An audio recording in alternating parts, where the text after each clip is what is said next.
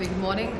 Um, I'm Dr. Sweta Saurabh. I'm from iBusiness Institute, Greater Noida. I'm Dean Academics there. I was invited for this conference as a speaker. Uh, the panelists were very nice. You know, we had a discussion on the skill and leadership development in this sector.